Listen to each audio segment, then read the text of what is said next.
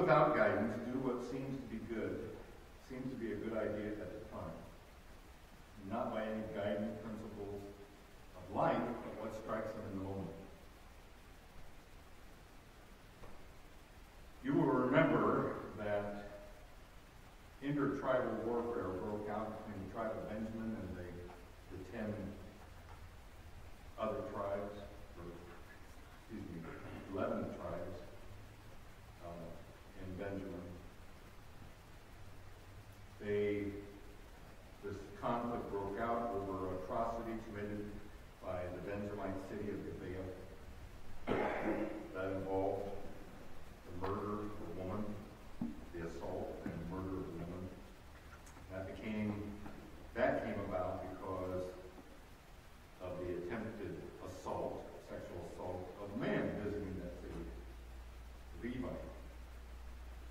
servant of the tabernacle of God, then after his concubine was killed, took the radical action of dismembering her body and sending it partially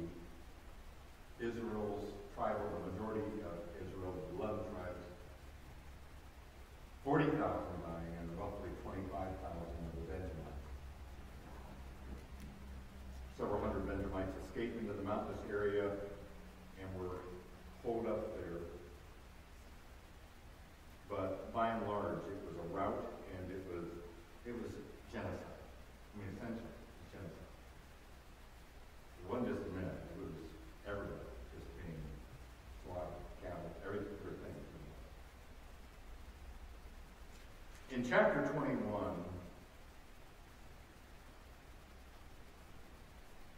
Actually, in chapter 20, we see the excesses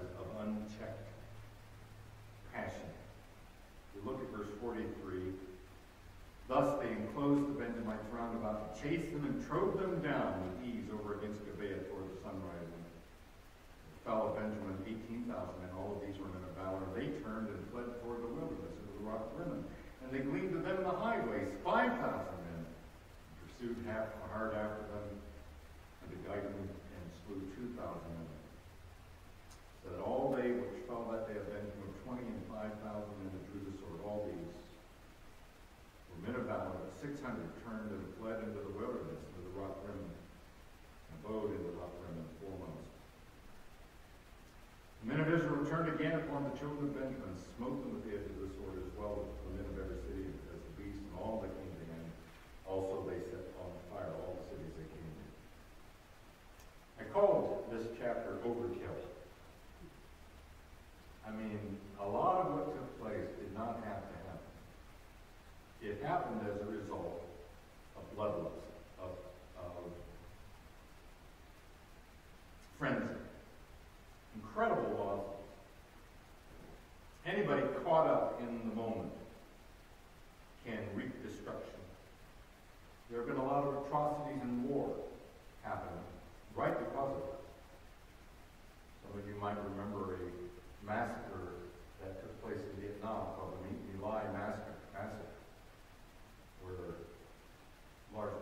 village.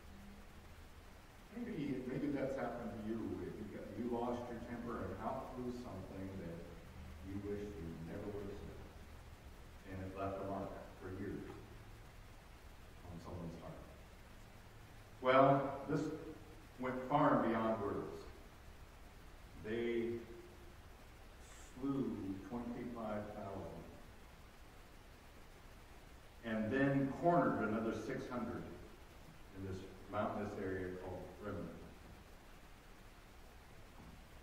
There was massacre and devastation, verse 48 of chapter 20. It, by definition, a massacre is the indiscriminate and brutal slaughter of people.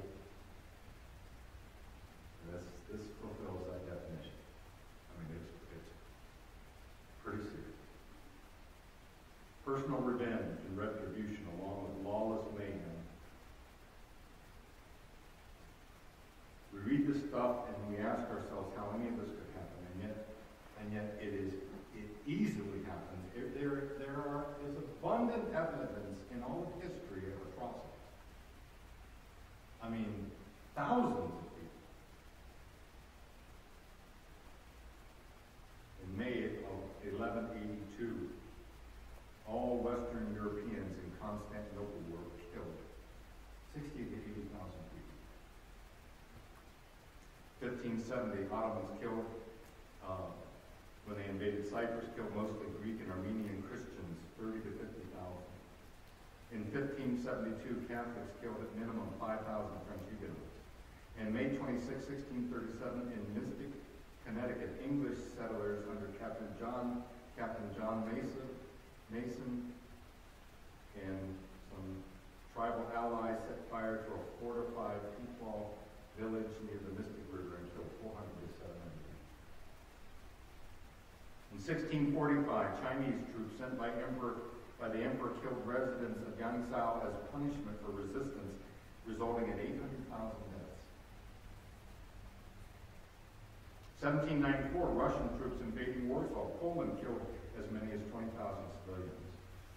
August 19, 1821, the entire population of Turks were killed by Greeks in Navarino, amounting to about 3,000 people. I could go on and on.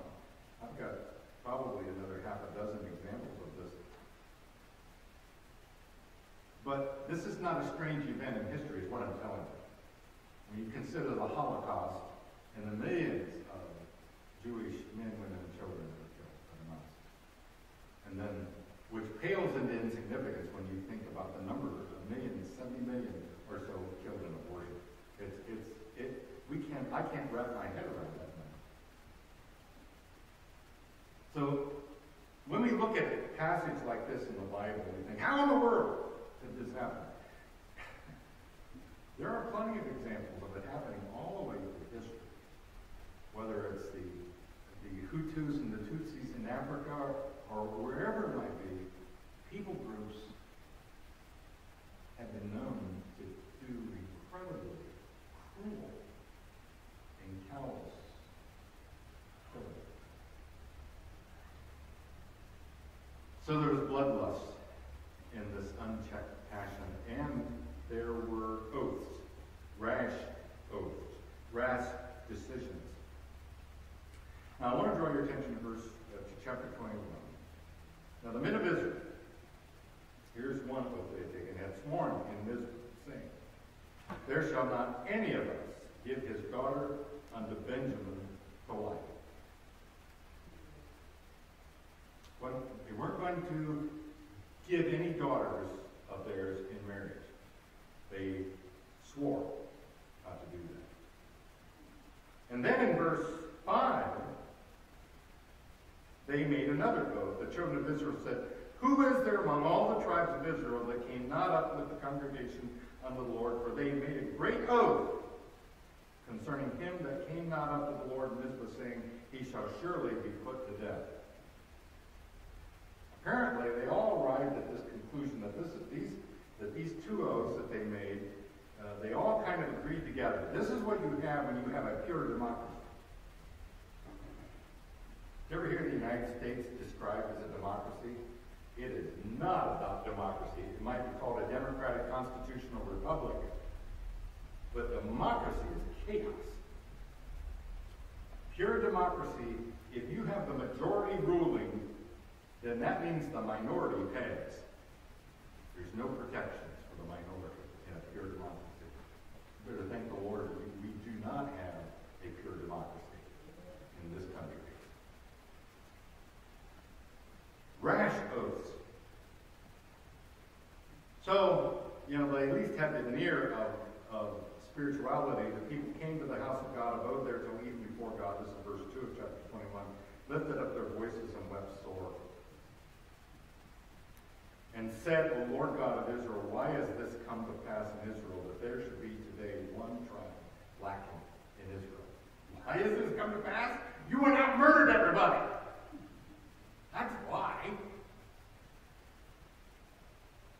it came to pass on the morrow that the people rose early and built their altar and offered burnt offerings and peace offerings. So they made these rash oaths, condemnation of any who didn't join the war, and then the refusal to intermarry or allow intermarriage with the Benjamites. And then they had to live with the outcome of that, of not only the war, but those decisions. Verse 2 said they came to the house of God lifted up their voices and wept. Someone said that which you react to in haste, you can repent of in leisure. Rash decisions quite often result in regret. And, the, and they have a sense of loss. There is one day a tribe lacking in Israel, verse 3. Suddenly reminded of the covenant that God had made with his people, and they wonder what they have done. And they, then they repented, they built an altar and offered at least a semblance of repentance, and offered burnt offerings and peace offerings. So, the excesses of unchecked passion, the aftermath of impulsive decision, regret, and then pragmatic attempts at damage control. Verse 6. Children of Israel repented them for Benjamin their brother and said, There is one tribe cut off in Israel this day. How shall we do for wives for them that remain, seeing we have sworn by the Lord that we will not give them our daughters to wives. So they realized the damage. They nearly wiped out an entire tribe. They had roughly 600 men left. So how do you rebuild that situation? And they're looking for a solution to a horrific situation that they had caused. And they had to keep their oath because they swore they weren't going to give their daughters. And so they sought for radical, pragmatic solutions. And here's what they came up with. The first solution, at least part for part of those, those daughters, those wives for these guys, is to smite and plunder an Israelite city for marriageable women. Look at verse 8. And they said, What one is there of the tribes of Israel that came not up to Mizpah to the Lord? And behold, there came none to the camp from Jabesh Gilead to the assembly. For the people were numbered, and behold, there was none of the inhabitants of Jabesh Gilead. So, they didn't send anybody up. They all made an oath or made a rash oath that anybody that didn't show up got the death penalty. There's There's no mention of God in any of these oaths that they took. No, no there was no seeking the Lord's face in those, these oaths. Someone commented that there was a dark logic at work, which reflected the way in which everyone did as he saw fit. They kept the vow not to allow any other women to marry a Benjamite, but they considered it appropriate to give them to the survivors of a massacre that they had instigated. And this is what they did. They sent 12,000. Congregation, verse 10, sent their 12,000 of the valiantest and commanded them, saying, Go and smite the inhabitants of Jabesh Gilead with the edge of the sword, if the women and children. And this is the thing that ye shall do. You shall utterly destroy every male and every woman that is lain by man. And they found among the inhabitants of Jabesh Gilead 400 young virgins that had not known man by lying with any male. And they brought them unto the camp of Shiloh, which is in the land of Canaan. The whole congregation, verse 13, sent some to speak to the children of Benjamin that were in the rock of Rimmon and to call peaceably unto them. And they came, Benjamin came again at that time, and they gave them wives which they had saved the lives of the women of Jabesh Gilead, and yet so they sufficed them. And the people repented them for Benjamin because of the Lord had breached in the tribes of Israel. They gave credit to God for what they had done. So, there's the pragmatic solution.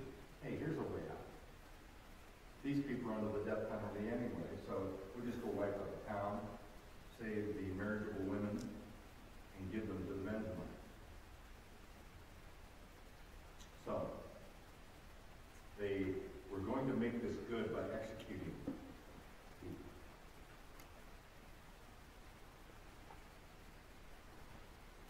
They justified the slaughter on the grounds that Jabesh Gilead had, had tacitly agreed with the Benjamites by not participating in the war. And there was merciless slaughter. And then they still had another 200 wives to, to come up with. So they decided that they would kidnap the rest of them from a, a, a festival that was going to be happening over by uh, Shiloh. So in verse 16, then the elders of the congregation said, How shall we do for wives for them that remain, seeing the women are, are destroyed out of Benjamin? And they said, There must be an inheritance for them that the escape of Benjamin, that a tribe be not destroyed out of Israel. Howbeit, we may not give them wives of our daughters, for the children of Israel have sworn, saying, Cursed be he that giveth wife to Benjamin. And then they said, verse 19, Behold, there is a feast of the Lord in Shiloh yearly in a place which is on the north side of Bethel, on the east side of the highway that goes up from Bethel to Shechem, and on the south of Lebanon, uh, Now this feast was probably, possibly, I won't say probably because I don't know, possibly a feast that Miriam, the sister of Moses, implemented after the deliverance from the Egyptians, that they had this festival. This wasn't like an official Israeli Israelite feast or celebration, but apparently more of a local thing. You know, like some little villages, villages around here have harvest festivals. You know, it's not necessarily a national holiday. It's just what they're doing. So they said, hey, this they they uh, they do this every year. And so, um, tell you what, we still need 200. And um, certainly we said that nobody could give their daughters to the Benjamites, but nobody said anything about taking some. You know, kidnapping. This is, this is bizarre reasoning here. So the first group, the 400, they got by massacring and then the second group, they were going to get by kidnapping. So if you look at the, the narrative here, they said, Behold, there's a feast of the Lord in Shiloh yearly in a place which is on the north side, this verse 19. And on the side of the highway that goes up from Bethel to Shechem and on the south of Lebanon. Therefore they commanded the children of Benjamin, saying, Go and lie in wait in the vineyards, and see, and behold, if the daughters of Shiloh come out to the dances, to dance and dances, then come you out of the vineyards, and catch you every man his wife of the daughters of Shiloh, and go to the land of Benjamin. Kind of like a Sadie thing. And it shall be when their fathers or their brethren come unto us to complain, that we will say unto them, Be favorable unto them for our sakes. Because we reserved not to each man his wife in the war, for ye did not give unto them at this time that you should be guilty. You didn't give them, they were taken. They stole them and do it for us. Don't get mad about it. You're not guilty in this matter. And the children of Benjamin did so, took them wives according to their number of them that and they cried. And they went and returned them their inheritance, and repaired the cities who dwelt in them. And the children of Israel departed thence at that time, every man to his tribe and to his family, and they went out from thence, every man to his inheritance. It's all good now. Now, if this seems weird to you, that's because it is. It was weird at that time. This was not, this was not standard operating procedure in Israel. But they all got together and they made this colossal, these colossal decisions. They took these very rash oaths in their democrat, democratic way, and everybody's, you know, got a head of steam up because they're very, very angry and upset. And then once the killing started, it's hard to get it to stop. Now they had a big mess on their hands because they nearly eliminated one of the tribes of Israel out of the inheritance of, that God had established. So they condoned the kidnapping to avoid guilt for violating a vow. What a thing. What circumstances. Now, this isn't the biblical narrative for a reason. And it's summed up in verse 25, where we started. In those days, there was no king in Israel. Every man did that which was right in his own eyes. What the writer of your inspiration is pointing out is, is that there was lawlessness. There was anarchy. The word anarchy is an interesting word. It, it, maybe you've heard of monarchy. Maybe, maybe you've heard of oligarchy. Um, trying to think of other words with archy. But essentially, archy means authority, the king, the ruler. If something is anarchy, as in pathos, meaning, and then you put an on it, it's off pathos apathy rather than sympathy. Apathy means no sympathizing, no, no passion, no pain. Anarchy means no king, anarchy. And that is what they had. They had no ruler. Anything with archy in it means to rule. They had no ruler. They had no one to curb their passions, no one to insist that things be done in a certain way, no, no one that's going to be able to lead, lead them. So How do we make all of this? How do we reconcile any of this to any kind of biblical ethic that we, especially we embrace in the New Testament? It's a very ugly incident reported in the Bible. And the, and the our thinking is, well, how do we justify this? And you know what the answer to that question is? We don't justify it. Because the scripture explains it. There was no king. This is, this is how people behaved. Everybody did right in their own eyes. Proverbs 14, 12. There is a way which seems right to a man, but the end thereof are the ways of death. And if there are any lessons for us, it is the lesson of what happens when, when passion controls. When men take the law into their own hands, when men become their own authority. It's the result of acting by emotion, not truth. And if there's anything that's characteristic of the age in which we're living right now, it is people emoting.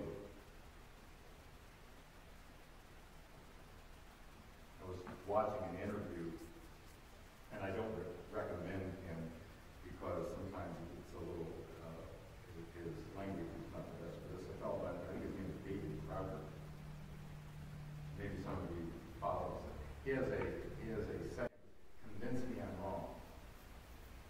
And his program, I think he's got a program called Louder with Crowder.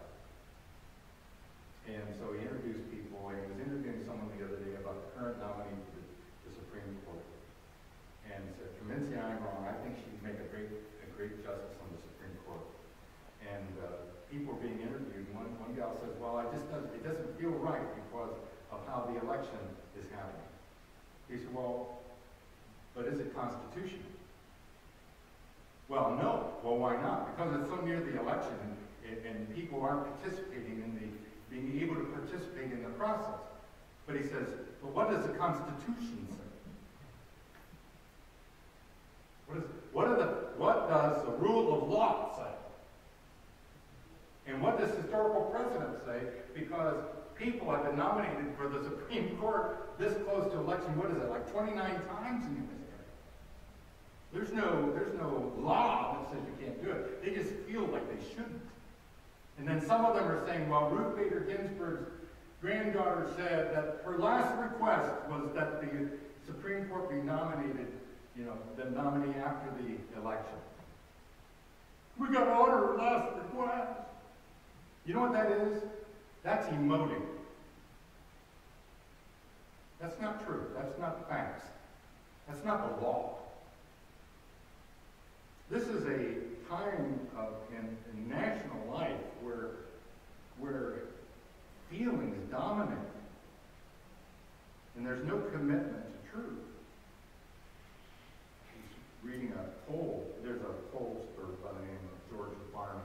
You may have heard the name before. Uh, he's a sociologist. He, he deals a lot mostly, I think mostly with churches.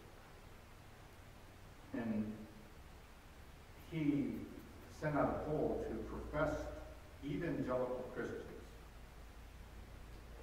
And the stat was 62% of evangelical Christians did not believe that there was such a thing as fixed absolute truth. 62%. Now, you say, well, I don't think that's accurate. If it's even a little accurate, even if it's 20% of people who profess evangelical Christians, born again people, that they don't think that there's fixed absolute truth.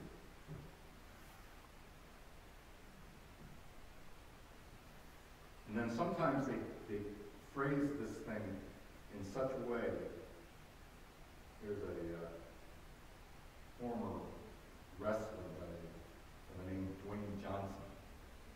You know I'm talking about? The Rock Johnson.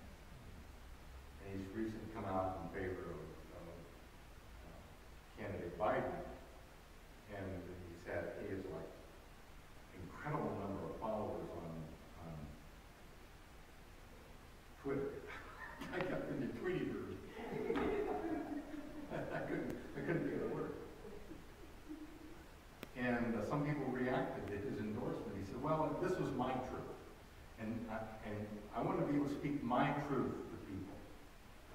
And this is not the first time I've heard people talk about my truth and, you know, you should share your truth and I should share my truth, as if there are no, there are no objective facts out there, that's just our perceptions. Like the Vice President Pence said, when he said, uh, you're entitled to your opinion, but you're not, you're, you're, you're entitled to your own opinion, but you're not entitled to your own facts. Great line. That is true across the if you were to ask these guys if they had an opinion, their opinion was colored was uh, colored by their emotions.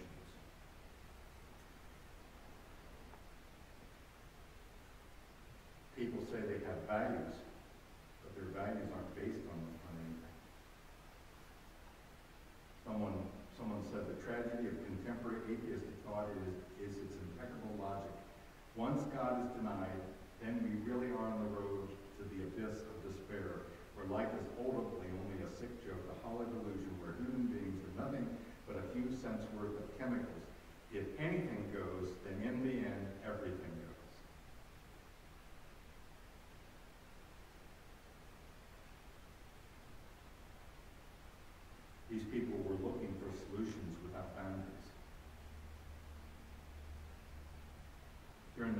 judges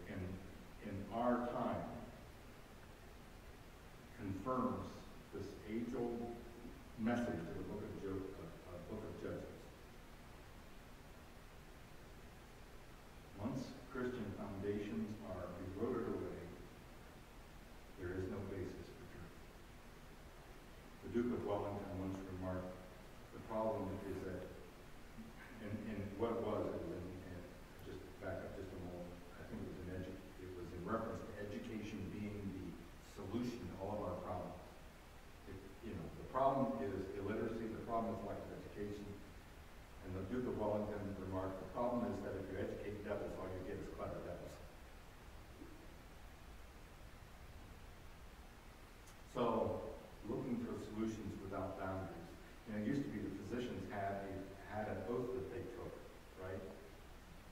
The first one, I think the first rule of it, do no harm. They don't take that oath anymore. No, they have no boundaries. No, no ethical boundaries except maybe what occurs to them at the time. At least those who do not believe that there's a sovereign God. They operated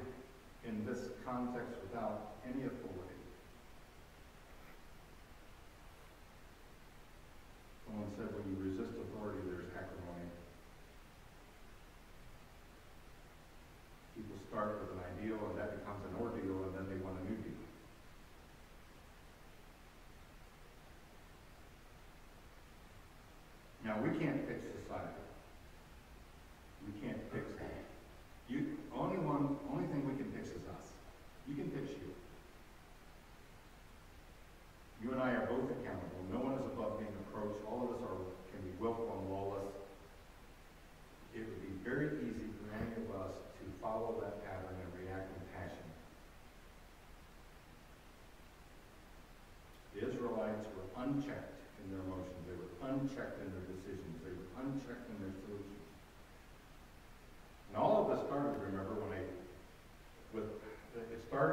troubled relationship between a clergyman and a woman that probably should not, that relationship should not have begun in the first place, and spun out of control. It started with something small and expanded. The problem is always the same, lawlessness. People just doing what they felt. Someone commented that the book of Judges, about the book of Judges, he said that Judges ends with a great longing for a better order depends upon a fundamental change of heart. It looks for a king who will reign